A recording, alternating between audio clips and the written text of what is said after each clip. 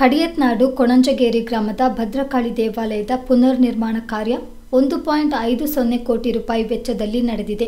ದೇವಾಲಯದಲ್ಲಿ ಶ್ರೀ ಭದ್ರಕಾಳಿ, ಶ್ರೀ ಚಾಮುಂಡೇಶ್ವರಿ ಹಾಗೂ ಉಪದೇವತೆಗಳ ಪುನರ್ ಪ್ರತಿಷ್ಠಾಪನೆ ಮತ್ತು ಅಷ್ಟಬಂಧ ಬ್ರಹ್ಮಕಲಶೋತ್ಸವ ವಿಜೃಂಭಣೆಯಿಂದ ನಡೆಯಿತು. ಅಷ್ಟಬಂಧ ಬ್ರಹ್ಮಕಲಶೋತ್ಸವದ ಅಂಗವಾಗಿ ಒಂದು ವಾರಗಳ ಕಾಲ ದೇವಾಲಯದಲ್ಲಿ ಧಾರ್ಮಿಕ ವಿಧಿವಿಧಾನಗಳು ನಡೆದವು. ವಿರಾಜಪೇಟೆಯ ಎಜಿ ಪಂಡರೀಶ ಅರಳಿ ತಾಯತಂತ್ರಿಗಳ ನೇತೃತ್ವದಲ್ಲಿ ಮುಖ್ಯ ಅರ್ಚಕ ಶ್ರೀನಿವಾಸ್ ಪೂಜಾ ಕಾರ್ಯಗಳನ್ನು ನೆರವೇರಿಸಿದರು. ಸಾಮೂಹಿಕ ಪ್ರಾರ್ಥನೆ, ಧ್ವಜಾರೋಹಣ ನೆರವೇರಿದ ಬಳಿಕ ವಿವಿಧ ಪೂಜಾ ಕೈಂಕರ್ಯಗಳು ಜರುಗಿತು.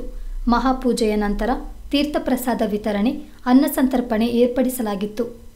ಈ ಸಂದರ್ಭ ಶಾಸಕ ಕೆಜಿ ಬೋಪಯ್ಯ, ಮಾಜಿ ಎಂಎಲ್ಸಿ ವೀಣಾಚಯ್ಯ, ಹೈಕೋರ್ಟ್ ಹಿರಿಯ ವಕೀಲ ಎಎಸ್ ಪೊನ್ನಣ್ಣ, ಕಾಂಗ್ರೆಸ್ ಜಿಲ್ಲಾಧ್ಯಕ್ಷ ಧರ್ಮಜ ಉತ್ತಪ್ಪ ಕೋಡಿರ ಪ್ರಸನ್ನ, ದೇವತಕ್ಕ ಮಂದತಂಡ ಚೆಟ್ಟಿಚ್ಚ, ಜೀರ್ಣೋದ್ಧಾರ ಸಮಿತಿ ಅಧ್ಯಕ್ಷ ಮೈಂದಪಂಡ ಕುಮಾರ್ ನಾಣಯ್ಯ ಕಾರ್ಯದರ್ಶಿ ಚಾವಂಡ ಮದನೀರಪ್ಪ ಖಜಾಂಚಿ ಬಲ್ಯತಂಡ ಭರತ್ ಭೀಮಯ್ಯ ಸೇರಿದಂತೆ ಇನ್ನಿತರರು ಉಪಸ್ಥಿತರಿದ್ದರು.